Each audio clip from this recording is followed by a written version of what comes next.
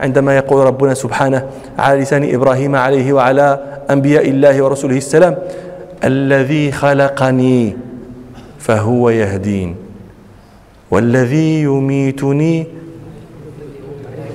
والذي هو يطعمني ويسقين وإذا مرضت فهو يشفين. ولم يقل وإذا أمرضني فهو من الأول هو يسند إلى الرب لا؟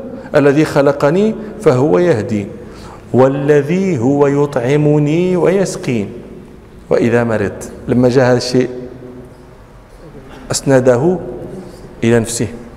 أدب الدعاء. قال ربنا سبحانه تجدون هذا أيضا؟ يقول ربنا سبحانه بيدك الخير.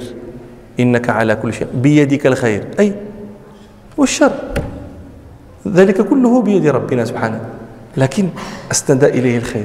ولذلك النبي صلى الله عليه وسلم أيضا كان يقول في مناجاته لربه والخير كله بيديك والشر ليس إليك. يعلمنا ربنا كيف ندعوه كيف نتأدب في الدعاء. لماذا يعلمك هذا؟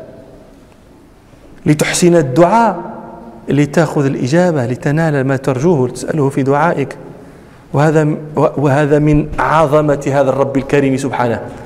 أنه يعلمك كيف تدعو لتدعو وليعطيك. وقد أحسن من قال لو لم تريد نيل ما نرجو ونطلبه من فيض جودك ما علمتنا الطلب. ولكنك علمتنا الطلب لنطلب لتعطينا. الحمد لله رب العالمين.